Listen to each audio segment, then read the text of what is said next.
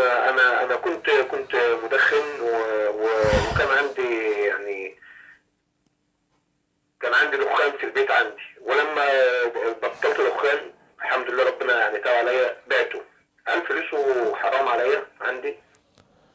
الأمر انتهى ولا لسه موجود؟ انتهى بقى لي سنتين أنا مبطل دلوقتي الحمد لله. ما, ما فيش ولا دخان عندي خالص. بس اللي كان عندي اتخلصت منه عن طريق إن أنا بعته. هل في وزر عليا؟ عفى الله عما سلف. خلاص استأنف حياتك من جديد. كنت تبيع وتشتري وتبت. تاب الله عليك. أنا ما كنتش تاجر أنا كنت بقى يعني أيوة يعني اشتريت وبعته. ما أنت اشتريت وبعته.